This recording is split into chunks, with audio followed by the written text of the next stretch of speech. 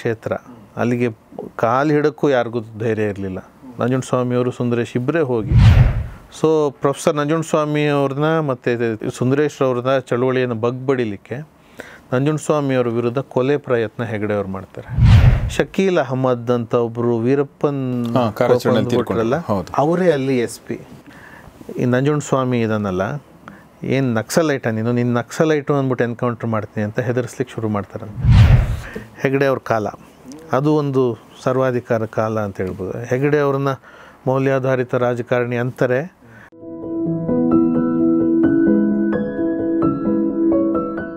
ಶಿಷ್ಯ ವೃಂದ ಹೆಂಗೆ ಹುಟ್ಟಿತು ಅಂದರೆ ಈ ರಾಮಕೃಷ್ಣ ಲಾಡ್ಜ್ ಇದೆಯಲ್ಲ ಬೆಂಗ್ ಬೆಂಗಳೂರು ಗಾಂಧಿನಗರ. ಅದ್ರ ಎದುರುಗಡೆ ಒಂದು ಮರ ಇದೆ ಈಗಲೂ. ಹೌದು. ಅಲ್ಲಿ ಒಂದು ಟೇಬಲ್ ಹಾಕ್ಕೊಂಡು ಕುರ್ಚಿಗಳು ಹಾಕ್ಕೊಂಡು ಇವರು ಇವರ ಚಿಂತನೆಗಳನ್ನು ಹೇಳುವಂಥ ಒಂದು ವಾಡಿಕೆ. ಹೌದಾ? ಹ್ಞೂ ಬೆಂಗಳೂರಲ್ಲಿ. ಓಕೆ ಸೊ ಅವರು ಇಲ್ಲಿ ಬಿ ಎಂ ಎಸ್ ಲಾ ಕಾಲೇಜಲ್ಲಿ ಕೆಲಸ ಮಾಡ್ತಿರ್ತಾರೆ. ಲಾ ಪ್ರೊಫೆಸರ್ ಆಗಿ ನಮ್ಮ ತಂದೆಯವರು. ಆಮೇಲೆ ಈ ಹಳೆ ಈಗ ಈಗಿನ Congress office youth Congress office J D S office ಇತ್ತಲ್ಲ? ಅದರ ಹಿಂದೆ S J R college Renukacharya ಕಾಲೇಜಲ್ಲೂ ಕೂಡ ಅವರು ಕಾನೂನು ಪ್ರಾಧ್ಯಾಪಕರ ಕೆಲಸ ಮಾಡ್ತಿದ್ದಾರೆ. ಕೃಷ್ಣ ಅವ್ರ ಜೊತೆ ಎಸ್ ಎಂ ಕೃಷ್ಣ ಅವ್ರ ಜೊತೆ. ಅವರು ಆಕ್ಸ್ ಆಕ್ಸ್ಫರ್ಡಿಂದ ಬಂದಿರ್ತಾರೆ. ಪ್ರೊಫೆಸರ್ ಹೇಗಿಂದ ಬಂದಿರ್ತಾರೆ? Hague academy of international so Krishna ಅವರು ಕೆಲಸ ಮಾಡ್ತಿರ್ತಾರೆ. ಕೃಷ್ಣ ಅವರು ಪ್ರೊಫೆಸರ್. ಓಕೆ ಅವ್ರ ಪ್ರೊಫೆಸರ್ ಅಂತ ಹಾಕೊಳ್ಳಲ್ಲ ಬಟ್ ಅವ್ರ professor M S M Krishna. Okay so Krishna ಅವರು ಇಬ್ಬರು ಕೊಲೀಗ್ಸು ಆ್ಯಸ್ ಲಾ ಪ್ರೊಫೆಸರ್ಸು ಅದರ ಅಧ್ಯಕ್ಷರಾಗೂ ಕೂಡ ಕಡದಾಳ್ ಮಂಜಪ್ಪನವ್ರು ಇರ್ತಾರೆ. ಕಡದಾಳ್ ಮಂಜಪ್ಪನವ್ರ ವಿಚಾರಗಳು ಮತ್ತು ಅವರ ಪರಿಶುದ್ಧವಾದ ಜೀವನ ಪ್ರೊಫೆಸರ್ಗೆ ಇಷ್ಟ ಇದ್ದಿದ್ದರಿಂದ ಕಡದಾಳ್ ಮಂಜಪ್ಪನವ್ರ ಜೊತೆ ಇವ್ರದ್ದು ಒಂದು ಅವಿನಾಭಾವ ಸಂಬಂಧ ಕಡೆಯವರೆಗೂ ಇತ್ತು. ನಿಜಲಿಂಗಪ್ಪನವ್ರ ಜೊತೆನೂ ಇತ್ತು. ಕಾರಣ ಅವರಿಬ್ಬರು ಪ್ರಾಮಾಣಿಕರು ಅವರಿಬ್ಬರು ವೆರಿ ಗುಡ್ ಫ್ರೆಂಡ್ಸ್ ಆ ಕಾರಣಕ್ಕೆ. ಸೊ ಕಾನೂನು ಪ್ರಾಧ್ಯಾಪಕರಾಗಿ ಕೆಲಸ ಮಾಡ್ತಿರ್ತಾರೆ. ಬಿ ಎಂ ಎಸ್ ಅಲ್ಲಿ ಮತ್ತು ಎಸ್ ಜೆ ಆರ್ ರೇಣುಕಾಚಾರ್ಯ ಕಾಲೇಜ್ನಲ್ಲಿ.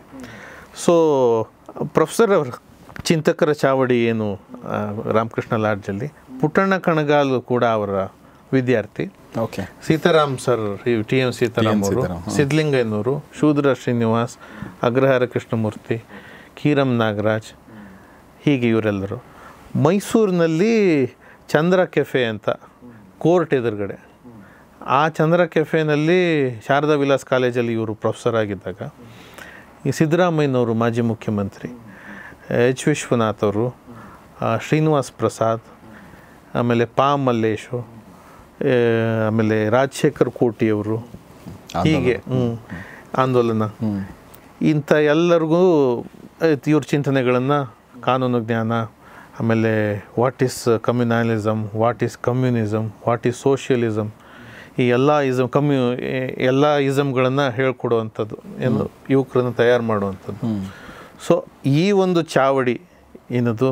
ಕಾಫಿ ಕುಡಿತಾ ಕುಡಿತಾ. ಇವರು ಪ್ರೋ ಚೈನ್ ಸ್ಮೋಕರು ಅವ್ರಗಳಿಗೂ ಸಿಗರೇಟ್ ಕೊಟ್ಟು ಅವ್ರನ್ನ ಶಿಷ್ಯರನ್ನು ಮಾಡ್ಕೊಂಡಂಥದ್ದು. ಸೊ ಅವರೆಲ್ಲರೂ ಕೂಡ ಭಾಳ ದೊಡ್ಡ ದೊಡ್ಡ ದೊಡ್ಡ ಹೆಸರುಗಳೇ ಆದರು. ಹೌದು ಸೊ ಪ್ರೊಫೆಸರ್ ಟೀಚ್ ಮಾಡ್ಬೇಕಾರೆ ಕನ್ನಡದಲ್ಲೂ ಫಸ್ಟ್ ಇಂಗ್ಲೀಷಲ್ಲಿ ಹೇಳೋರಂತೆ. ವಿದ್ಯಾರ್ಥಿಗಳ ಮುಖಗಳು ಹಿಂಗೆ ಇರೋದಂತೆ. ಸೊ ನಾನು ಹೇಳಿದ ಅರ್ಥ ಆಯ್ತಾ ಅಂದರೆ ಹ್ಞೂ ಅನ್ನೋರಂತೆ. ನೀವು ಸುಳ್ಳು ಹೇಳ್ತಿದ್ದೀರಿ ನಿಮ್ಮ ತಲೆಗೆ ಏನೂ ಹೋಗಿಲ್ಲ.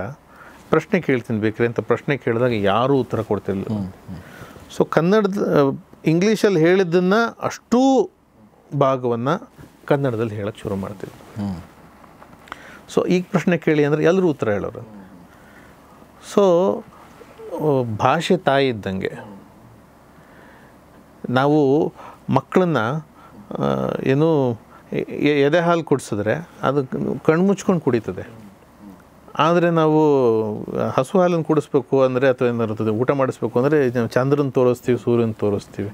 ಇಂಗ್ಲೀಷ್ ಮಾಧ್ಯಮ ಆ ರೀತಿ ಬಲವಂತವಾಗಿ ತುರ್ಕು ಅಂತ. ಎಸ್ ಇದು ಪ್ರೊಫೆಸರ್ ಹೇಳ್ತಿದ್ದಂಥದ್ದು. ಸೊ ಪ್ರೊಫೆಸರ್ ಪಾಪ್ಯುಲರ್ ಆಗ್ಲಿಕ್ಕೆ ಶುರು ಆಗ್ತಾರೆ ಪ ಕಾಲೇಜುಗಳಲ್ಲೂ ಕೂಡ. ಬೇರೆ ಬೇರೆ ಡಿಪಾರ್ಟ್ಮೆಂಟಲ್ಲಿ ಇರುವಂಥ ಪಕ್ಕದ ಕ್ಲಾಸ್ನವರು ಕೂಡ ಆಮೇಲೆ ಈ ಒಂದು ಸೈನ್ಸ್ ಸ್ಟೂಡೆಂಟ್ಗಳು ಪ್ರೊಫೆಸರ್ ಲೆಕ್ಚರ್ನ ಕೇಳಲಿಕ್ಕೆ ಬಂದು ಕೂತ್ಕೊಳ್ಳೋ ಶುರು ಆಗುತ್ತೆ. ಇದು ಮ್ಯಾನೇಜ್ಮೆಂಟಿಗೆ ತಲೆನೋವಾಗ್ತದೆ. ಅಸೂಯೇನು ಬರ್ತದೆ. ಬಿ ಎಂ ಎಸ್ ಲಾ ಕಾಲೇಜಲ್ಲಿ. ನೀವು ಇಲ್ಲಿ ಟೀಚ್ ಮಾಡೋಕ್ಕೆ ಬಂದಿದ್ದೀರೋ ಅಥವಾ ನಿಮ್ಮ ಪಾಂಡಿತ್ಯ ಪ್ರದರ್ಶನಕ್ಕೆ ಬಂದಿದ್ದೀರೋ ಅಂತ ಪ್ರೊಫೆಸರ್ಗೆ ಈ ಒಂದು ಏನು ಏನೋ ಒಂದು ರೀತಿ ಅವಮಾನ ಮಾಡೋದು ಶುರು ಆಗುತ್ತೆ. ಪ್ರೊಫೆಸರು ಅದನ್ನು ಸಹಿಸ್ಕೋತಾರೆ. ನಿಜಲಿಂಗಪ್ಪನವ್ರಿಗೆ ಹೋದಾಗ ನಿಜಲಿಂಗಪ್ಪನವ್ರ ಅಧ್ಯಕ್ಷರು ಓಕೆ ಆ B M S B M S law college ಏನು ಪ್ರೊಫೆಸರೇ ಹೀಗೆ ಪ್ರತಿಭಾವಂತರಿಗೂ ಈ ರೀತಿ ನಡೆಯುತ್ತಲ್ಲ. ನೀವು ಪಾಪ ನಿಮ್ಮ ಉದ್ದೇಶ ಗೊತ್ತು. ಅಂದಾಗ ಪ್ರೊಫೆಸರ್ ಅಂದ್ರಂತೆ. ನಾನು ಸಂಬಳಕ್ಕೆ ಮಾಡ್ತಿಲ್ಲ. ನನಗೆ ಪಾಠ ಮಾಡೋದು ಆಸೆ. ಆ ಕಾರಣಕ್ಕೆ ನಾನು ಪಾಠ ಮಾಡ್ತಿದ್ದೀನಿ ಅಂತ. ನಾನು ಒಂದು ಸತಿ ಈ ಇಟಲಿ ಮಿಲಾನು ದೇಶದಲ್ಲಿ ತೊಂಬತ್ತೊಂಬತ್ತನೇ ಇಸ್ವಿಲಿ ಯಾರು ಇಂಟರ್ವ್ಯೂ ಮಾಡ್ಬೇಕಾದ್ರೆ ಕೇಳಿದ್ರು. ಪ್ರೊಫೆಸರ್ಗೆ ಪ್ರಶ್ನೆ ಒಬ್ಬರು ಪತ್ರಕರ್ತರು. ನೀವು ಮುಂಚೆ ಏನು ಮಾಡ್ತಿದ್ದೀರಿ ಅಂದರೆ I used to teach law ಅಂದರು. You are teaching law what are you doing here ಅಂದರು. I am teaching to the world ಅಂದರು. ನಾನು ಪಾಠ ಮಾಡೋದು ನಿಲ್ಲಿಸಿಲ್ಲ ನಾನು ಸಂಬಳಕ್ಕೂ ಏನು ಮಾಡ್ತಿರ್ಲಿಲ್ಲ. ನಾನು ಪಾಠ ಮಾಡೋದು ಇಷ್ಟ. ವಿದ್ಯಾರ್ಥಿಗಳಿಗೆ ಮಾ ಸ್ಕೂಲ್ ಒಳಗಡೆ ಮಾಡ್ತಿದ್ದೆ. ಈಗ ಸ್ಕೂಲಿಂದ ಆಚೆ ಜಗತ್ತಿಗೆ ಪಾಠ ಮಾಡ್ತಿದ್ದೀನಿ. ಯಾವುದು ಒಳ್ಳೆಯದು ಕಾನೂನು ಜ್ಞಾನ ಜಾಗತೀಕರಣದ ವಿರುದ್ಧ ಹೆಂಗೆ ಇವೆಲ್ಲ ಮಾರಕ ಬಹುರಾಷ್ಟ್ರೀಯ ಕಂಪನಿಗಳು ತೃತೀಯ ಜಗತ್ತನ್ನು ಹೆಂಗೆ ಹಾಳು ಮಾಡ್ತಾಯಿವೆ ಹೆಂಗೆ ಶೋಷಣೆ ಮಾಡ್ತಾಯಿವೆ ಇದನ್ನು ನಾನು ಜಗತ್ತಿಗೆ ಹೇಳ್ತಿದ್ದೀನಿ ಅಂತ ಪ್ರೊಫೆಸರ್ ಹೇಳಿದ ನೆನಪಾಯಿತು. ಲೆಟ್ ಮೀ ಕಮ್ ಬ್ಯಾಕ್ ಅರವತ್ತರ ದಶಕ್ಕೇನೆ ಸೊ ಎಮರ್ಜೆನ್ಸಿ ಟೈಮಲ್ಲಿ ಅವ್ರು ಹಾಕ್ತಾರೆ. ಎಮರ್ಜೆನ್ಸಿಗಿಂತ ಮುಂಚೆ ನಾನು ಹೇಳಿದಂಥ ಲೆವಿ ಘಟನೆ ನಡೆದಿದ್ದು. ಸೊ ಆಗ ಮತ್ತೆ ಡಿಸ್ಕನೆಕ್ಟ್ ಆದಂಥ ರೈತ ಚಳುವಳಿ, ಈ ಗುಂಡೂರಾಯರ ಸರ್ಕಾರದಲ್ಲಿ ನೆಲಗಂದಾಯ, ನೀರ್ಗಂದಾಯ, ಆಮೇಲೆ ಲೆವಿ ಇವೆಲ್ಲ ಹಾಕಿದ್ರಿಂದ ಜನ ಅಫೋರ್ಡ್ ಮಾಡೋಕ್ಕಾಗಲಿಲ್ಲ. ಇಬ್ಬರು ರೈತರನ್ನು ಬಸಪ್ಪ, ಕಡ್ಲಿಕೊಪ್ಪ ಈ ಈ ರೀತಿ ಹೆಸರು ಬರ್ತದೆ. ಹಾವೇರಿನಲ್ಲಿ ಏ, ಇಲ್ಲ ಸರ್ ನರಗುಂದ ನವಿಲ್ಗುಂದದಲ್ಲಿ. ಬಸಪ್ಪ ಲಕ್ಕುಂಡಿ ವೀರಪ್ಪ ಕಡ್ಲಿಕೊಪ್ಪ ಅಂತ ಇಬ್ಬರು ರೈತರನ್ನ ಗುಂಡಿಕ್ಕಿ ಕೊಲ್ತಾರೆ. ಆವಾಗ ಅಲ್ಲಿ ಭುಗಿಲೇಳ್ತದೆ ಹೇಳ್ತದೆ ಆಗ ಅಲ್ಲಿ ಹೋಗಿ ರೈತ ಚಳವಳಿ ಕಟ್ಟಬೇಕು ಅಂತ ತೀರ್ಮಾನ ತಗೊಂಡಿದ್ದು ಪ್ರೊಫೆಸರ್ ನಂಜುಂಡಸ್ವಾಮಿಯವರು ಮತ್ತು ಎನ್ ಡಿ ಸುಂದರೇಶ್ರವರು. ಸೊ ಆಗ ದೇವರಾಜ ಅರಸರು ಬದುಕಿರ್ತಾರೆ. ನರಗುಂದ ನವಲಗುಂದದಿಂದ ಬೆಂಗಳೂರಿಗೆ ಪಾದಯಾತ್ರೆಯನ್ನು ಮಾಡ್ತಾರೆ. ಅದೇ ಅವರು ಕಡೆಯ ಒಂದು ಸಾರ್ವಜನಿಕ ಕಾರ್ಯಕ್ರಮ. ಜನಸಾಗರ ಇರುತ್ತೆ ದೇವರಾಜರ ಅರಸರಿಗೆ ದೇವರಾಜ ಅರಸರು ಬಟ್ ಅದಾದ ನಂತರ ಅವ್ರು ತೀರೆ ಹೋಗ್ತಾರೆ. ಆ ನಂತರ ಅದನ್ನು ಮುಂದುವರಿಸೋರು ಇರೋದಿಲ್ಲ. ಸೊ ರೈತ ಚಳುವಳಿ ಶುರು ಆಗಿಬಿಟ್ಟಿರುತ್ತೆ. ಬೆಂಗಳೂರಿನಲ್ಲಿ ಯಾವುದೋ ಒಂದು ಹೋಟೆಲ್ನಲ್ಲಿ ಪ್ರೊಫೆಸರ್ ರವಿವರ್ಮ ಕುಮಾರ್ ಅವರು ಎ ಜಿ ಆಗಿದ್ರಲ್ಲ ಎಸ್ ಆರ್ ನಾಯಕ್ ಅವರು ಅದೇ ಛತ್ತೀಸ್ಗಢ ಚೀಫ್ ಜಸ್ಟಿಸ್ ಆಗಿದ್ದರು ಅವರೆಲ್ಲರೂ ಪ್ರೊಫೆಸರ್ ವಿದ್ಯಾರ್ಥಿಗಳು.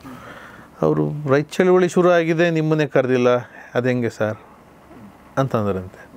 ಅದೇನು ಕಾಕತಾಳೀಯವೋ ಸ್ನೇಹವೋ ಏನೋ ಗೊತ್ತಿಲ್ಲ. ಇದು ಸುಂದರೇಶ್ರವರ ಮನೆಯಲ್ಲಿ ಭದ್ರಾವತಿಲಿ ತೇಜಸ್ವಿಯವರು ಪೂರ್ಣಚಂದ್ರ ತೇಜಸ್ವಿಯವರು ಮತ್ತು ಬಿ ಎನ್ ಶ್ರೀರಾಮ್ ಅವರು, ಮತ್ತು ಕಡದಾಳ್ ಶಾಮಣ್ಣ ಅವರು, ಹೇಗೆ ರೈತ ಚಳುವಳಿನ ದೊಡ್ಡ ಮಟ್ಟಕ್ಕೆ ತೊಗೊಂಡೋಗೋದು ಅನ್ನೋ ಡಿಸ್ಕಸ್ ಮಾಡುವಾಗ ಪ್ರೊಫೆಸರ್ ನಂಜುಂಡಸ್ವಾಮಿ ಅವರು ನಾವು, ನಾವೇ ಫಸ್ಟ್ ಶುರು ಮಾಡಿದ್ದು ಎಪ್ಪತ್ತೇಳರಲ್ಲಿ ದಕ್ಷಿಣ ಭಾರತ ಸಣ್ಣ ಬೆಳೆಗಾರರ ಒಕ್ಕೂಟ ಅಂತ ಮಾಡಿಕೊಂಡು ಲೆವಿ ವಿರುದ್ಧ ಹೋರಾಟ ಮಾಡಿದ್ದು. ಅವ್ರ ಕಾನೂನು ಜ್ಞಾನ ಇದೆ, ಎಂಥದೇ ರಿಸ್ಕ್ ಇದ್ದರೂ ಅವ್ರು ಫೇಸ್ ಮಾಡ್ತಾರೆ ಕರ್ಕೊಂಬನ್ನಿ ಅಂತ ತೇಜಸ್ವಿಯವರು ಅಂದರು. ಸೊ ಮಾರನೇ ದಿನ ತೇಜಸ್ವಿ ಅವ್ರ ಕಸಿನ್ನು ಎನ್ ಡಿ ಸುಂದರೇಶ್ ಅವರು. N D Sundaresh Tejeshwar cousin okay okay Nambala ಅಂತ ಗ್ರಾಮ ಶಿವಮೊಗ್ಗದಲ್ಲಿ. ಕುವೆಂಪು ಅವರ ರಿಲೇಟಿವ್ಸು ಸೊ ಇವರು ಫೋನ್ ಮಾಡಿ ನಂಜುಂಡ ಸ್ವಾಮಿ ಅವ್ರನ್ನ ಕರೀರಿ ಅಂತ ಹೇಳಿದ್ರು ತೇಜಸ್ವಿ ಅವರು. ಪ್ರೊಫೆಸರು ಮಾರನೇ ದಿನ ಕಾಲೇಜಲ್ಲಿ ಪ್ರಿನ್ಸಿಪಾಲ್ ಆಗಿ ಏನು ನೋಡ್ಬೇಕಾರೆ ಲೆಡ್ಜರ್ಸ್ ಎಲ್ಲ. ನಂಜುಂಡ ಸ್ವಾಮಿಗಳೇ ಏನು ಮಾಡ್ತಿದ್ದೀರಿ? ರೈತ ಚಳುವಳಿ ಶುರು ಆಗಿದೆ ಹೊರಟು ಬನ್ನಿ ಶಿವಮೊಗ್ಗಕ್ಕೆ ಅಂತ. ಸೊ ಪ್ರೊಫೆಸರ್ ನಂಜನ ಸ್ವಾಮಿಯವರು ಇಲ್ಲಿಂದ ಡ್ರೈವ್ ಮಾಡ್ಕೊಂಡು ಹೋದರು. ಅವರೇ ಡ್ರೈವ್ ಮಾಡೋರು ಪ್ಲೈಮತ್ ಅಂತ ಕಾರ್ ಇತ್ತು. ಓಕೆ ಓಕೆ ಸಿದ್ದರಾಮಯ್ಯನವ್ರು ಜ್ಞಾಪಿಸ್ಕೋತಾರಲ್ಲ ನಂದು ಕಾರ್ ತಳ್ಳಿ ತಳ್ಳಿ ಸಾಕಾಯಿತು ಅಂತ.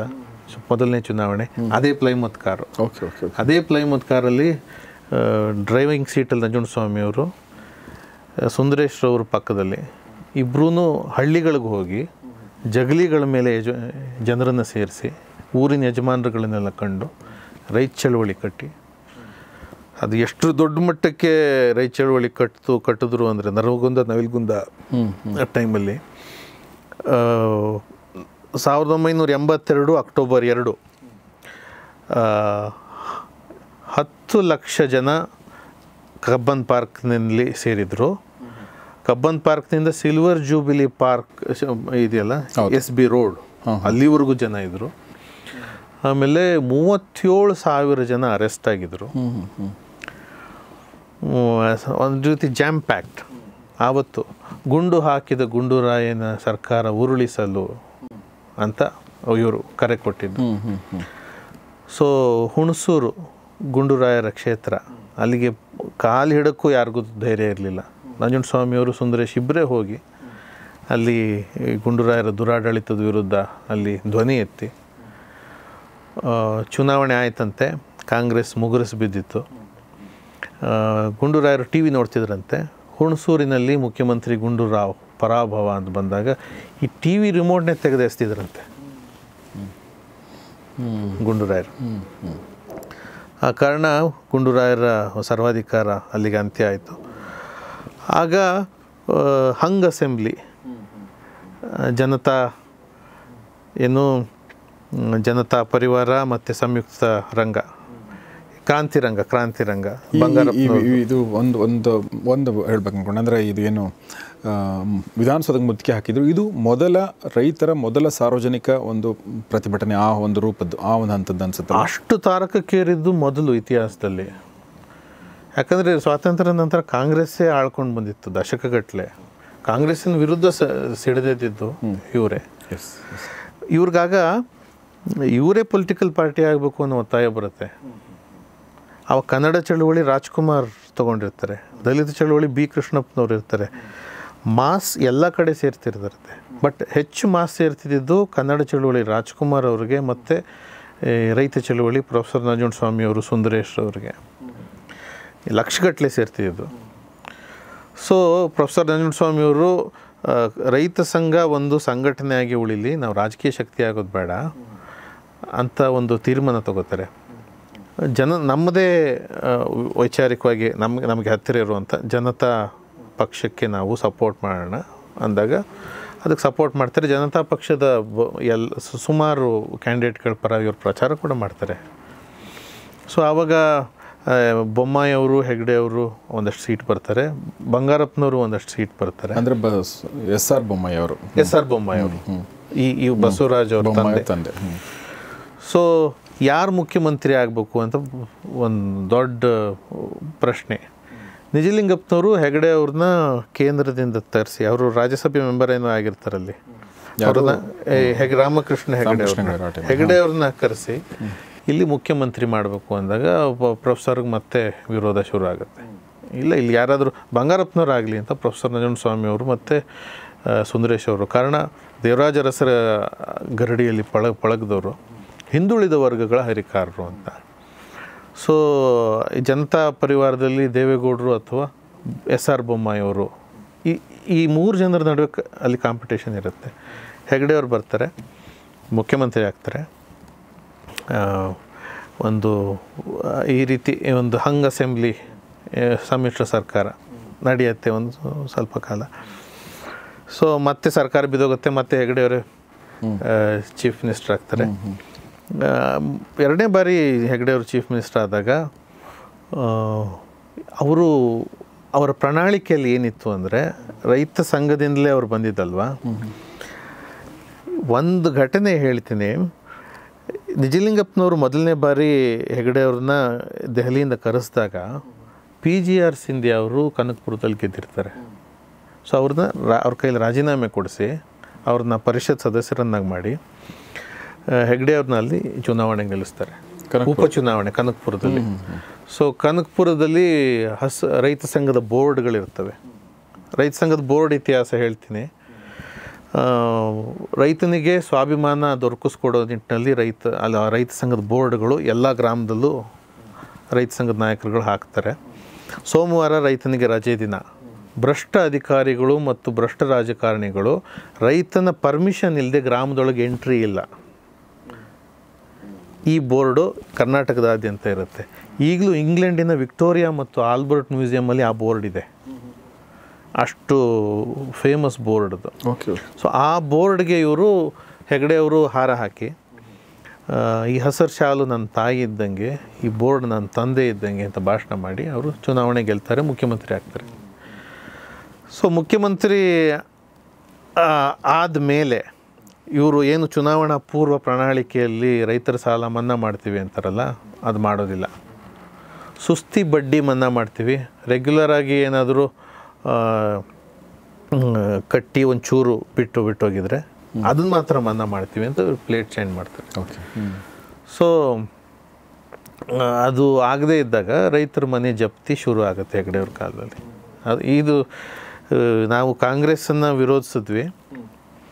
ಅದರ ನಡುವೆ ಜನತಾ ಪರಿವಾರಕ್ಕೆ ನಮಗೆ ಹತ್ತಿರ ಇರೋ ಸಮಾಜವಾದಿ ಚಿಂತನೆ ಇರೋರು ಅಂತ ನಾವು ಆಯ್ಕೆ ಮಾಡಿದ್ರೆ ಇವರು ಕೂಡ ಕಾಂಗ್ರೆಸ್ಸಿನ ಮತ್ತೊಂದು ಭಾಗ ಮುಂದುವರೆದ ಭಾಗವಾಗಿ ಇವರು ದುರಾಡಳಿತ ಮಾಡ್ತಿದ್ದಾರೆ ಅಂತ ಜನತಾ ಪಕ್ಷದ ವಿರುದ್ಧ ಜನತಾ ಜನತಾ ಸರ್ಕಾರದ ವಿರುದ್ಧ ಕೂಡ ರೈತ ಚಳವಳಿ ಭುಗಿಲೇಳ್ತದೆ ಓಕೆ ಓಕೆ.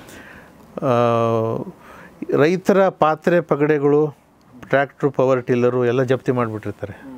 ಮಾಂಗಲ್ಯದ ಸರ ವಾಲ್ ಕ್ಲಾಕ್ನೂ ಬಿಡೋದಿಲ್ಲ. ನಂಜುಂಡಸ್ವಾಮಿಯವರು ಮತ್ತು ಸುಂದರೇಶ್ರವರು ಬ್ಯಾಂಕ್ಗಳನ್ನೇ ಬೀಗ ಹೊಡೆದು ಸಹಕಾರಿ ಬ್ಯಾಂಕ್ಗಳು ಕೋಆಪರೇಟಿವ್ ಬ್ಯಾಂಕ್ಗಳದ್ದೇ ಬೀಗ ಹೊಡೆದು ಆದರೆ ಎದುರುಗಡೆ ಜನರನ್ನು ಸೇರಿಸಿ ಜನರ ಪಾತ್ರೆ ಪಗಡೆಗಳನ್ನು ವಾಪಸ್ ಕೊಡುವಂಥ ಮರು ಜಪ್ತಿ ಚಳುವಳಿ ಶುರು ಮಾಡ್ತಾರೆ. ಸೊ ಪ್ರೊಫೆಸರ್ ನಂಜುಂಡಸ್ವಾಮಿ ಅವ್ರನ್ನ ಮತ್ತು ಸುಂದರೇಶ್ರವ್ರನ್ನ ಚಳುವಳಿಯನ್ನು ಬಗ್ಬಡಿಲಿಕ್ಕೆ ನಂಜುಂಡಸ್ವಾಮಿಯವರ ವಿರುದ್ಧ ಕೊಲೆ ಪ್ರಯತ್ನ ಹೆಗಡೆ ಅವ್ರು ಮಾಡ್ತಾರೆ. ಹೌದಾ? ಚಿಕ್ಕಮಗಳೂರಲ್ಲಿ. ಶಕೀಲ್ ಅಹಮದ್ ಅಂತ ಒಬ್ಬರು ವೀರಪ್ಪನ್. ಅವರೇ ಅಲ್ಲಿ ಎಸ್ ಪಿ. ಚಿಕ್ಕಮಗಳೂರಲ್ಲಿ. ಚಿಕ್ಕಮಗಳೂರಲ್ಲಿ. ಈ ಎಲ್ಲ ಸುಂದರೇಶ್ ನಂಜುಂಡಸ್ವಾಮಿ ಅವರು ರವಿವರ್ಮ ಕುಮಾರ್ ಅವರು ಪಾಂಡುರಂಗ ವಿಠಲ್ ಮಂಜುನಾಥ್ ದತ್ತ ಆಮೇಲೆ ವೆಂಕಟೇಶ್ ಮೂರ್ತಿಯವರು ಈ ಎಲ್ಲ ರೈತ ಸಂಘದ ಹೋರಾಟಗಾರರನ್ನು ಒಂದು ಲಾಕಪ್ಗೆ ಹಾಕಿ ರಿವಾಲ್ವರಿಂದ ಗುಂಡುಗಳನ್ನು ತೆಗೆದು ಹಿಂಗೆ ಕ್ಯಾಚ್ ಹಿಡಿತಿದ್ರಂತೆ ಶಕೀಲ್ ಅಹಮದ್. ಕ್ಯಾಚ್ ಹಿಡಿದು ಏನ್ರೋ ಏನು ಮರುಜಪ್ತಿ ಮಾಡ್ತೀರಾ? ನಿಮ್ಮನ್ನೆಲ್ಲ ಎನ್ಕೌಂಟ್ರ್ ಮಾಡಿಬಿಡ್ತೀನಿ. ಈ ನಂಜುಂಡ ಸ್ವಾಮಿ ಇದನ್ನಲ್ಲ ಏನು ನಕ್ಸಲೈಟ ನೀನು? ನಿನ್ನ ನಕ್ಸಲೈಟು ಅಂದ್ಬಿಟ್ಟು ಎನ್ಕೌಂಟ್ರ್ ಮಾಡ್ತೀನಿ ಅಂತ ಹೆದರಿಸ್ಲಿಕ್ಕೆ ಶುರು ಮಾಡ್ತಾರಂತೆ. ಅದು ಎಲ್ಲಿಂದ ಗೊತ್ತಾಗುತ್ತೋ ಏನೋ ರೈತ ಚಳವಳಿ ಎಷ್ಟು ಪ್ರಬಲವಾಗಿರುತ್ತೆ ಅಂದರೆ ಪೊಲೀಸ್ ಸ್ಟೇಷನ್ ಎದುರುಗಡೆ ಸುಮಾರು ಒಂದು ಮೂವತ್ತೈದು ಸಾವಿರ ಜನ ಸೇರ್ಕೋತಾರೆ ಚಿಕ್ಕಮಗಳೂರಲ್ಲಿ. ಅವ್ರನ್ನ ಬಿಡುಗಡೆ ಮಾಡಿ ನಾವು, ಏನು ಅಲ್ಲಿವರೆಗೂ ಬಿಡಲ್ಲ ಅಂತ. ಸೊ ಆವಾಗ ಬಿಡುಗಡೆ ಆಗುತ್ತೆ. ಸೊ ಕಾರವಾರದಲ್ಲೇನು ಇವರು ಅರೆಸ್ಟ್ ಆಗೋದು if I am not wrong so ಕಾರವಾರದಿಂದ ಚಿಕ್ಕಮಗಳೂರಿಗೆ ಶಿಫ್ಟ್ ಮಾಡುವಾಗ ವ್ಯಾನಲ್ಲಿ ಪ್ರೊಫೆಸರ್ ನಂಜುಂಡಸ್ವಾಮಿ ಅವ್ರಿಗೆ ಎಷ್ಟು ಕಿರುಕುಳ ಕೊಡ್ತಾರೆ ಅಂದರೆ ಪೊಲೀಸ್ ಇಲಾಖೆ.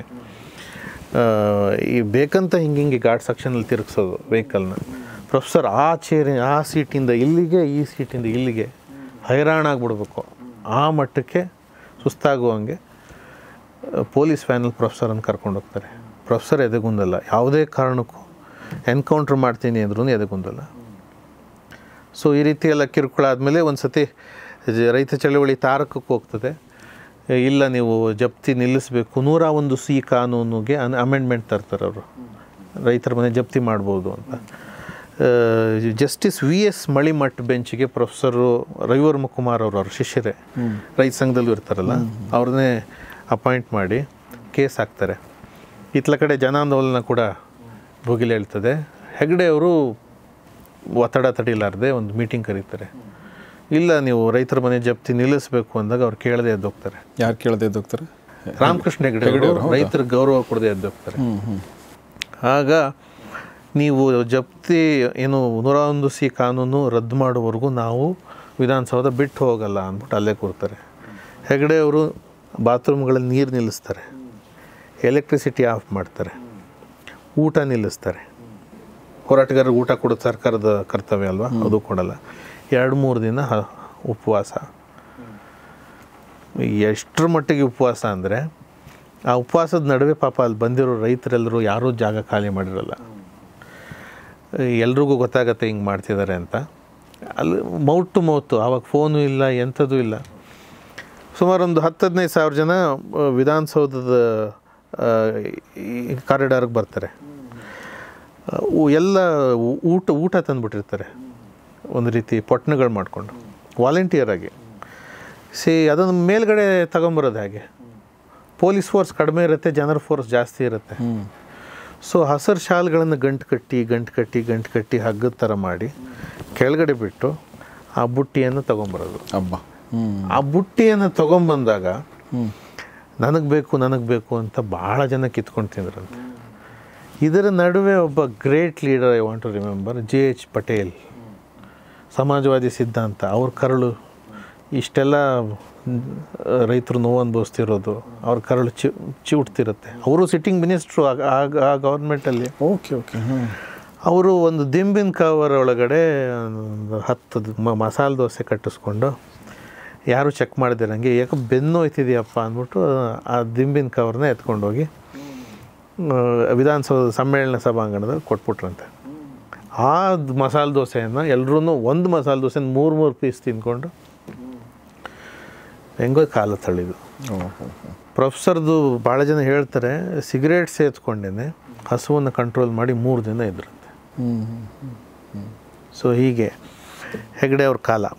ಅದು ಒಂದು ಸರ್ವಾಧಿಕಾರ ಕಾಲ ಅಂತ ಹೇಳ್ಬೋದು. ಹೆಗಡೆ ಅವ್ರನ್ನ ಮೌಲ್ಯಾಧಾರಿತ ರಾಜಕಾರಣಿ ಅಂತಾರೆ. ಅವರ ಇತರೆ ಅವರ ಮುತ್ಸದಿತನಕ್ಕೆ ನಾ ಗೌರವ ಕೊಡ್ತೀನಿ ಇಲ್ಲ ಅಂತಲ್ಲ. ಈ ರೀತಿನೂ ಇತ್ತು. This is off the record ಇಲ್ಲ, ಇದು ಭಾಳ ಜನರಿಗೆ ಗೊತ್ತಿಲ್ಲ. ಅಂದರೆ ಒಂದಷ್ಟು ಹಗರಣಗಳ ಬಗ್ಗೆ ನಾವು ಲಂಕೇಶ್ ಪತ್ರಿಕೆಯಲ್ಲಿ ಓದ್ತಿದ್ವಿ. ರೇವಜಿತ್ ಹಗರಣ, ಬಾಟ್ಲಿಂಗ್ ಹಗರಣ, ಜೀವರಾಜ ಆಳ್ವ ಅವ್ರದ್ದು ಇವ್ರದ್ದು ಅದೆಲ್ಲ ಬರ್ತಿತ್ತು, ಒಂದಷ್ಟು ಬರ್ತಿತ್ತು. ಆಮೇಲೆ ಲಂಕೇಶ್ ಪತ್ರಿಕೆಯಲ್ಲಿ ಸತತವಾಗಿ ಅವರ ವಿರುದ್ಧ ಕೂಡ ಬರೆದು ಬರ್ ಬಟ್ ಗುಂಡೂರಾಯರ ಬಗ್ಗೆ ಏನು ಒಂದಿತ್ತು ಅದು ಆ, ಥರದೊಂದು ಆಕ್ಷೇಪಣೆ ಇವರ ಬಗ್ಗೆ ಇರಲಿಲ್ಲ. ಆದರೆ ನೀವು ಹೇಳಿದ ಕೇಳಿ ನಂಗೆ ಸ್ವಲ್ಪ ಗೊತ್ತಿತ್ತು ಬಟ್ ಸ್ವಲ್ಪ ಆಶ್ಚರ್ಯ ಕೂಡ ಆಯ್ತು ನನಗೆ. ಈ ಥರದ್ದೆಲ್ಲ ಆಗಿದೆ ಆ ಕಾಲದಲ್ಲಿ ಅಂಥೇಳಿ ಹೆಗಡೆಯವರು ಇಷ್ಟು ತಲೆನೋವಾಗಿದ್ದಂಥ ರೈತ ಚಳುವಳಿಯನ್ನು ಅಂದರೆ ಹೆಗಡೆಯವರಿಗೆ ತಲೆನೋವಾಗಿದ್ದಂಥ ರೈತ ಚಳುವಳಿಯನ್ನು ಅಧಿಕಾರದ ಆಮಿಷಗಳನ್ನು ಕೊಟ್ಟು ರೈತ ಸಂಘದ ಪ್ರಭಾವಿ ನಾಯಕರುಗಳನ್ನು ಕರ್ಕೊಂಡು ಹೋಗ್ತಾರೆ ಹಾಸನದಲ್ಲಿ, ಬೆಳಗಾಂನಲ್ಲಿ, ಸಂಕ್ರಿಕೊಪ್ಪ ಅಂಥವ್ರನ್ನ ಅದೇ, ಶಿವಮೊಗ್ಗದಲ್ಲಿ ಒಂದು ರಾಜ್ಯ ಸಮಿತಿ ನಡೆಯುವಾಗ ನಾವು ಅಧಿಕಾರಕ್ಕೆ ಹೋಗಬೇಕು ಅಂತ ಎಲ್ಲರೂ. ಪ್ರೊಫೆಸರ್ ನಂಜು ನಂಜುಂಡಸ್ವಾಮಿಯವರು ಮತ್ತು ಸುಂದರೇಶ್ ಅವರು, ಬೇಡ, ನಾವು ಸಂಘಟನೆಯಾಗಿ ಉಳಿಬೇಕು ಅಂತ. ಯಾಕಂದರೆ ಅಧಿಕಾರಕ್ಕೆ ಹೋದರೆ ನಮ್ಮ ಸಂಘಟನೆ ಕರ್ಗೋಗ್ಬಿಡುತ್ತೆ ಅಂತ. ಸೊ ಅಧಿಕಾರಕ್ಕೆ ಹೋಗಬೇಕು ಅಂದವರು ಒಂದಷ್ಟು ಜನ ಹೋದರು. ಭಾಳಷ್ಟು ಜನ ಜನತಾ ಪರಿವಾರಕ್ಕೆ.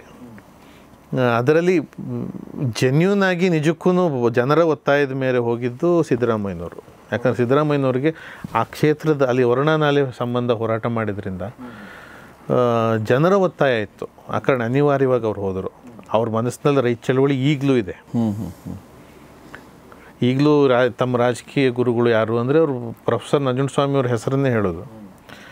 ಸೊ ಇನ್ನು ಮಿಕ್ಕವರು ಅಧಿಕಾರದ ಆಸೆಗೆ ಹೋಗ್ತಾರೆ. ಕೆಲವರು ದೊಡ್ಡ ಮಟ್ಟದಲ್ಲಿ ಬೆಳೀತಾರೆ, ಕೆಲವರು ಬಳಕೆಯಾಗಿ ಬಿಸಾಡಲ್ಪಡುತ್ತಾರೆ. ಇದು ಜನತಾ ಪರಿವಾರದಲ್ಲೂ ಆಗುತ್ತೆ, ಇತರೆ ಪಕ್ಷಗಳಲ್ಲೂ ಆಗ್ತದೆ.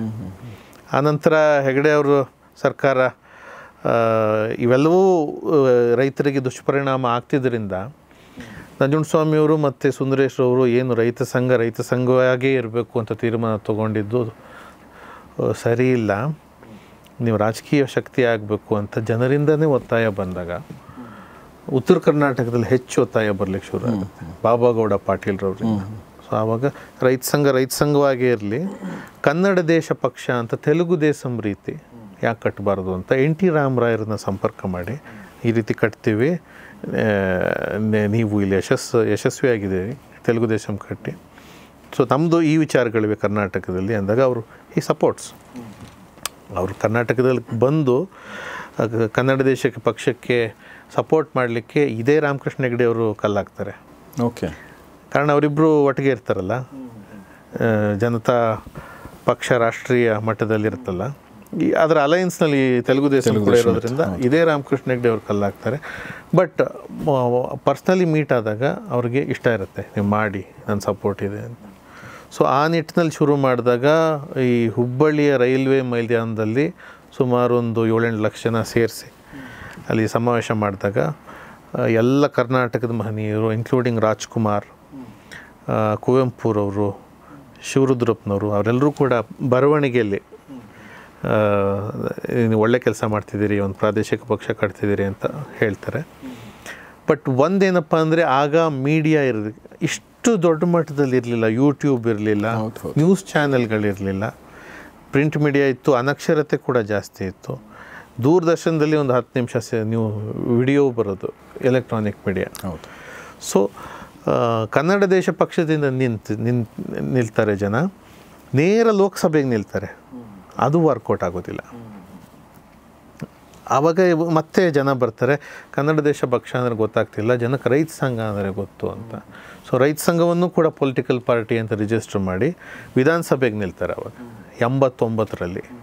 ಬಾಬಾಗೌಡ ಪಾಟೀಲ್ರವರು ಎರಡು ಕ್ಷೇತ್ರದಲ್ಲಿ ಆಯ್ಕೆ ಆಗ್ತಾರೆ, ಕಿತ್ತೂರು ಮತ್ತು ಧಾರವಾಡ ಗ್ರಾಮೀಣ.